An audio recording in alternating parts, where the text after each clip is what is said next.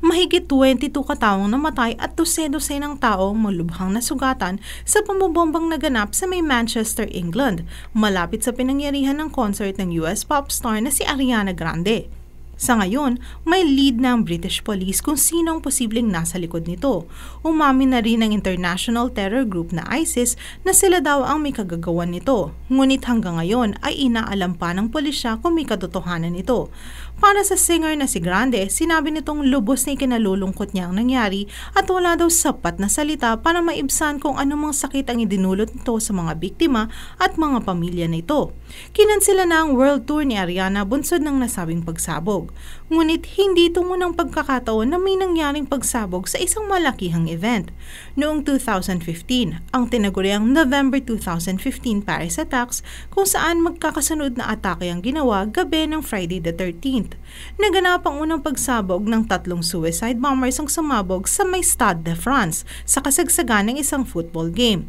Sinundan ito ng sunod-sunod na mass shooting, suicide bombing sa iba't ibang cafe at restaurant.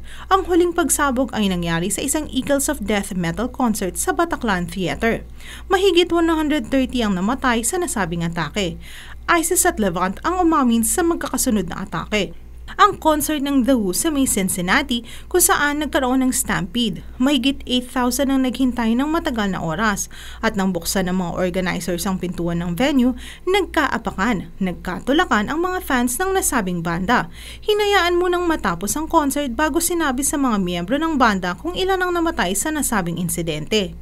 Noong taong 2000, siyam na mga fans ng sikat na rock group Pearl Jam ang namatay dahil nagkatulakan nito palapit sa stage.